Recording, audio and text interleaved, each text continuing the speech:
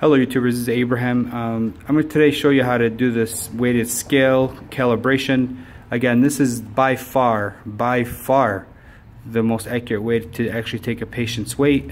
They're far superior to the digital ones. As you can see, this one here is already on zero and zero, but you can see that on this end here, it's still running pretty high. Ideally, you'd want it to be standing right there, right in the middle, and going back and forth without any weight on it. Um, this one I purchased, and like I said, it's already on 0, 0, but it's definitely not calibrated.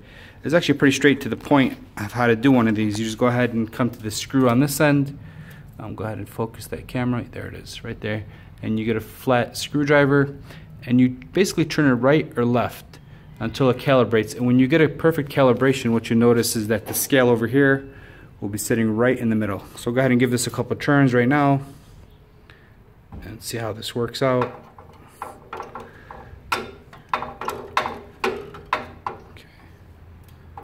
And a little bit more clockwise.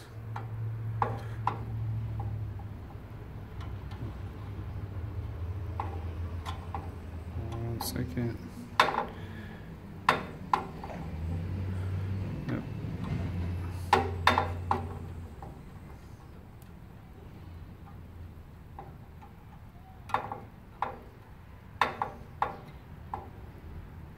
It's getting there, you can tell starting to bounce a little bit.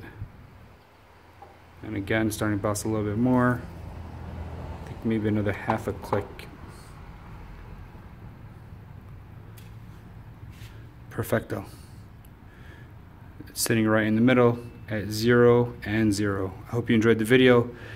Give me a thumbs up and a subscribe. Thank you